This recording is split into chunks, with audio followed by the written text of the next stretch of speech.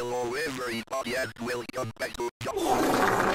It's time to select my first question. I hope it's a good one and not a bad one.